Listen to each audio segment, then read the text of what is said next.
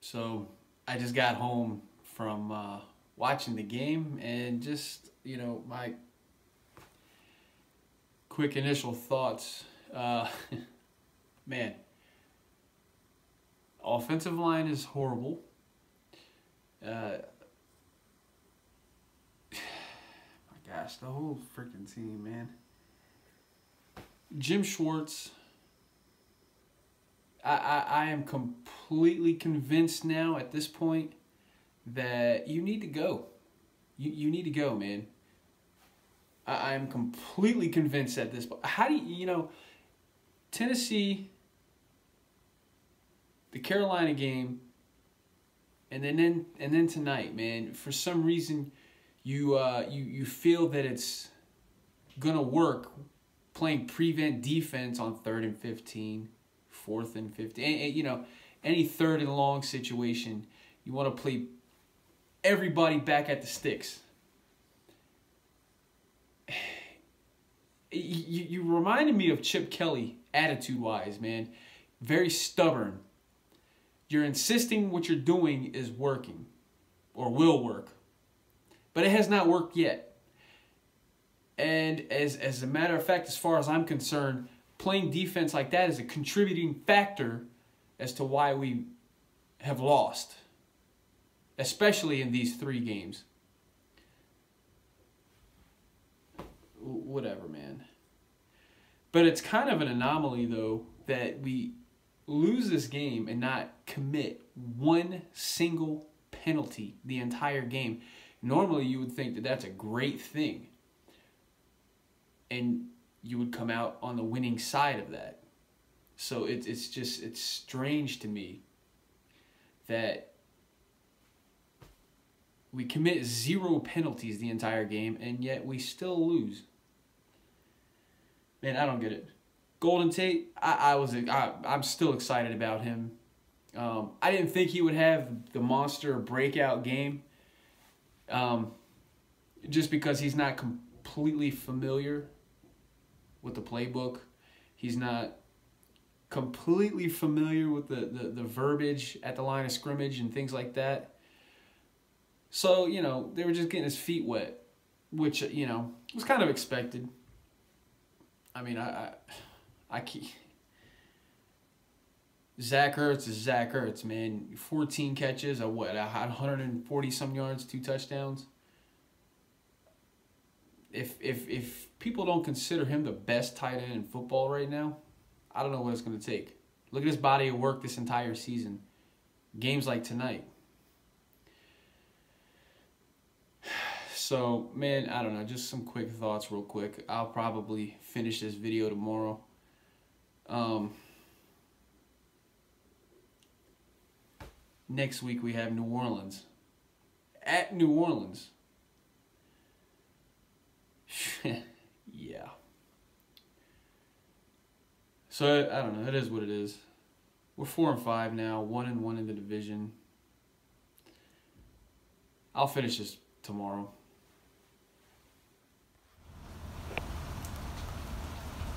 Man, it's a sad day today. The weather's a good representation of how that game went last night.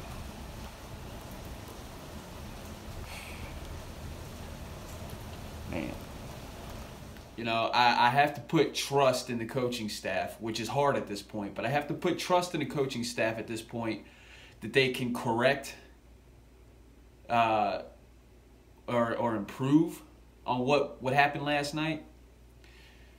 I mean, it's it's it's pathetic, man. You you can't expect to you know win championships like that I mean, looking back, okay, let's just look back on this season so far, okay? Through nine games, we're sitting at four and five, and one and one in the division, and we have not, we have yet to win back-to-back games this year. Every week has been win, loss, win, loss, win, loss, win, loss, with the exception of the Tennessee and Minnesota games. We lost those back-to-back. Other than that, we've been win loss win loss win loss you know you you can't expect to win championships. That's not championship football. It's it's not. You know, and that's why we're sitting here at four and five. And one one in the division. And let's be honest, winning the division is the only ticket to the playoffs at this point. We're we're not as good as the Rams. I hate to say that, but we're not as good as the Rams. It's obvious. We're not as good as the Saints, who that's who we go into their house next week and who we play. And, and I'm gonna be honest, looking at the body of work from this team this season, and then looking at last night, that's a that's a scary game, man. That's a scary game for us. And to be honest, the Eagles have not given me a reason to feel confident about that. So, you know, it's it is what it is, man. Um, I'm just hoping that we have a fighting chance at the end of the year to, to get into the playoffs. I mean, it's crazy. I, I was at the Super Bowl parade last year. I was I was there when Doug Pederson was like, this is the new norm. Having parades down Broad Street, this is the new norm. I was there for that.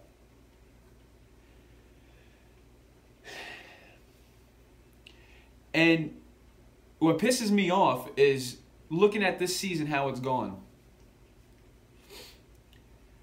And thinking back on that. You can't make proclamations like that. As much, you know, as much as Eagles fans, we loved it. I loved it. We all loved it when he was talking about that, that this is the new norm. And we want so hard to believe that. But when you talk all of that talk, but this is how you follow up with it. It just it's, it's not a good look, man. It's it's not a good look. It doesn't make you look good. And, you know, it, I, I can't, like, man, I'm still, I'm still finding it hard. Last night, we went into the game without our top two cornerbacks. Sidney Jones and Jalen Mills. And then we lost Darby. So our top three cornerbacks are out now. I, I, I have not seen the extent of Ronald Darby.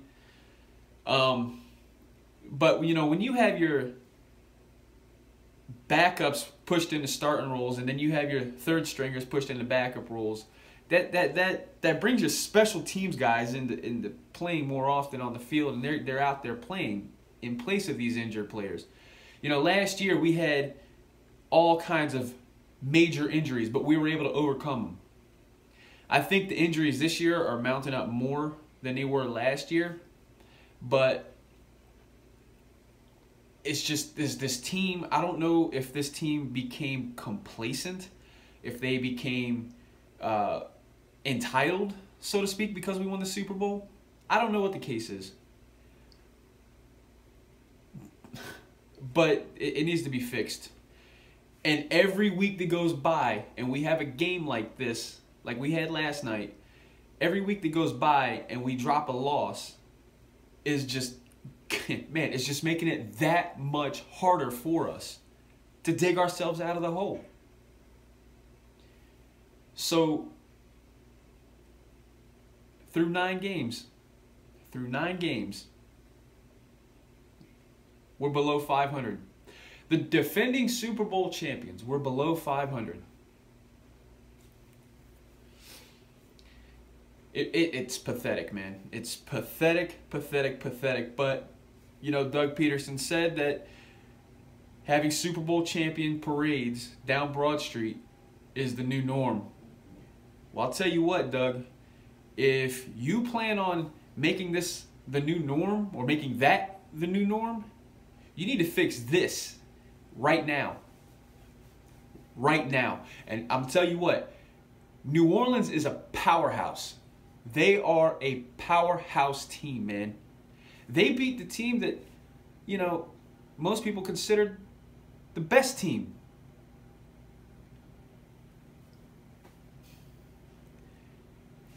and then we're going into their house. So if if you want to make Broad Street parades the new norm, you need to start this week. You need to come up with a flawless, perfect, dominating game plan against Sean Payton and Drew Brees.